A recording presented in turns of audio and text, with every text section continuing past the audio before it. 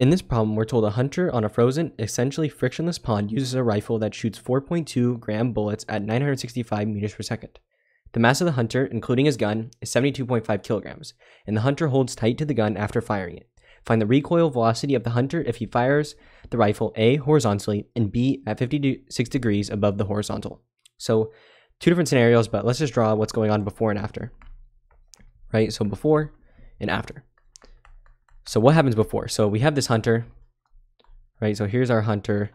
Um, they're gonna have a gun, right? So here's their they're gonna be holding some gun on this on this pond, right? So let's just draw it flat.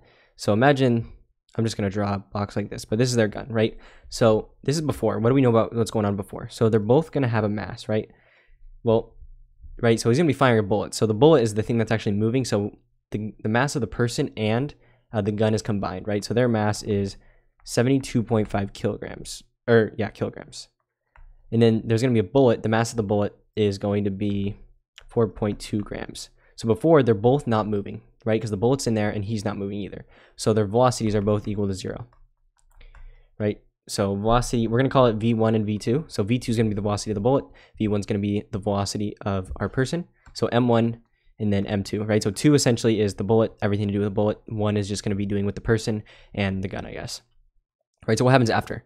So after, here's our person, um, right? So they're gonna have their gun still, right? So they're standing on their thing, uh, the gun, and then they're gonna fire the bullet. So the bullet's gonna go off, right? So this is right when they fire right after they fire it, right?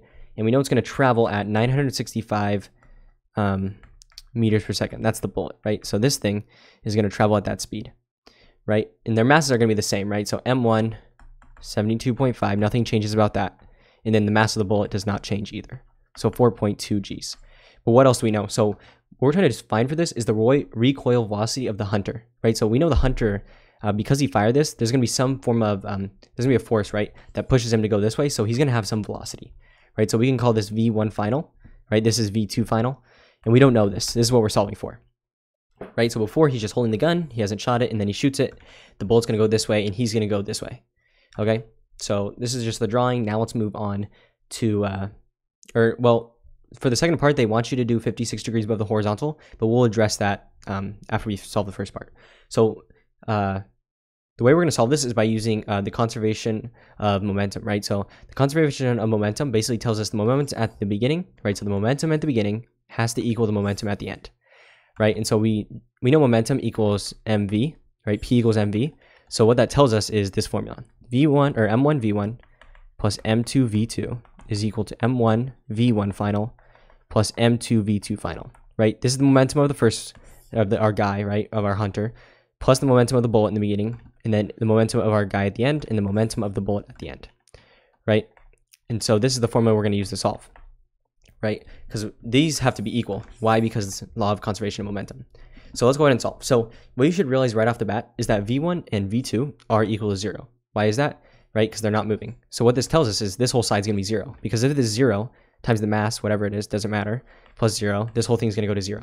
So really we have zero equals m1 v1 plus m2 v2 final. Right? And I went ahead and labeled all these, remember, in the beginning. So we know m1 is just the mass of our person. m2 is the mass of the bullet. v2 final is 965 meters per second, right? The final velocity of the bullet. And then M v1 final or just v1 final is what we're solving for right in the beginning. We don't know what that is. We're going to try and solve for it by plugging in the numbers. So let's just go ahead and do it, right? We just got to plug in. So M1, the mass of our person and our gun, 72.5, multiplied by V1 final, plus M2, which is the mass of the bullet, right? And notice how it's in grams. So what you want to do is convert it into uh, kilograms, right? We need it to be uh, same units. So we know there's a thousand grams for every one kilogram. So you can just divide it by a thousand and give it to you in kilograms. So if you divide this by 1,000, you'll get 0.0042. Yeah, so 0.0042 kilograms. Uh, that's going to be M2, right? Because we need it in kilograms. So 0.0042 kilograms. Uh, we actually don't need to put the units. So 0.0042 and then multiply by V2 final, which is 965 meters uh, per second. So now we've got this. Uh, we can just go ahead and solve, right? So move this to the other side, and then we're going to divide by this. So minus, and then multiply these together, 0.0042 times 965. If you do that, you'll get 4.053. And so it's negative because we move it to the other side, we have to subtract. So that equals 700 or 72.5 times V1 final divide.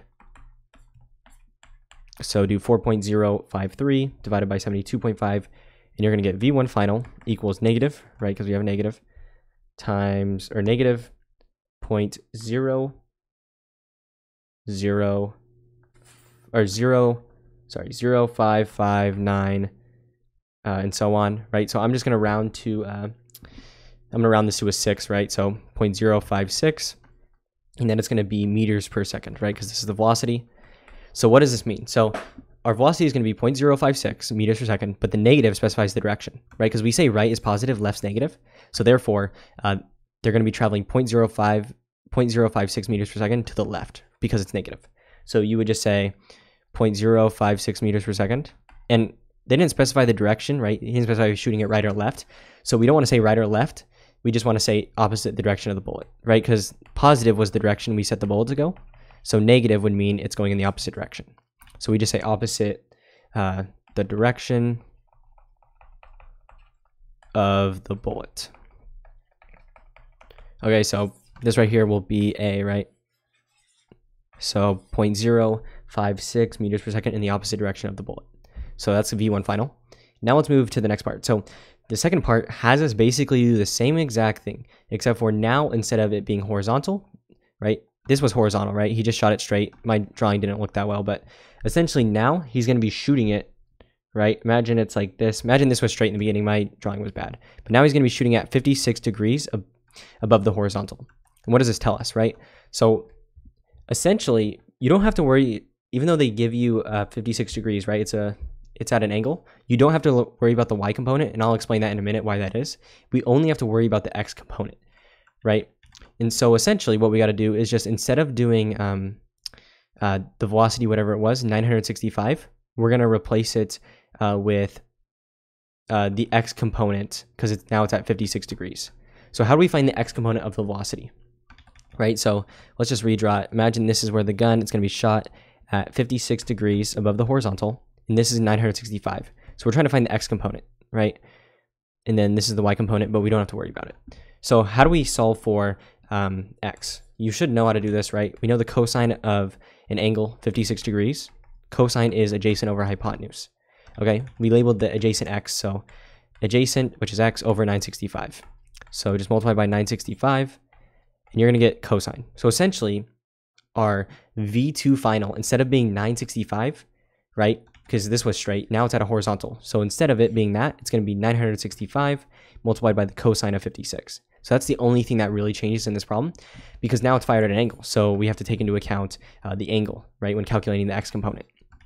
So I'm going to erase this. I'm going to rewrite it up top though. So 965 times the cosine of 56. So now instead of it being that, V2 final is 965 times the cosine of 56. Okay? And so now what we can do is just use the same exact equation. Everything's the same except for this variable is different, right? Because nothing else changed.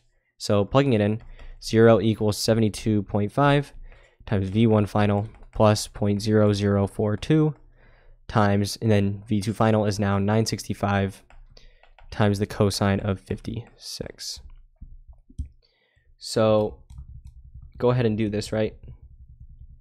So do 965, right? I'm going to move this to the other side. So it's going to be minus, uh, do 0.0042 times 965 times the cosine of 56, or the cosine of 56, sorry. Uh, and if you do that, you're going to get 2.2664 and so on. I'll just write the full thing equals, and then this part right here, right? Because we just moved this to the other side. So 72.5 V1 final. And then we can just divide by this, 72.5, right? So go ahead and do that. And you're going to get V1 final is equal to negative 0.03126 and so on. Uh, I'm just going to round to 0.0313, so 0.0313 meters per second. So it's the same thing as this, right? This opposite direction, right? So you would say 0.0313 meters per second and then opposite. And so it's going to be opposite the horizontal component of the bullet. So horizontal, right? So horizontal component, you can write it out. So horizontal component of the bullet But essentially, now I'm going to explain why we didn't take into account the y. So we don't need to take into account like the vertical direction in our calculations. And this is because there's two different forces acting in this direction, which is gravity and the normal force. So what this means is the momentum is not going to be conserved in this direction, right? So the normal force is essentially going to oppose this force, right? So the force that forces us back in the y direction, right? And so essentially we don't have to take into account. So essentially it's just going to be this right here. So V1 final is going to be uh, 0.0313 meters per second opposite the horizontal component of the bullet, right? So your answer to A was 0.056, and then this one's 0.0313 meters per second. Yeah, so this is your answer to A, this was B, and yeah, so hopefully you found this useful.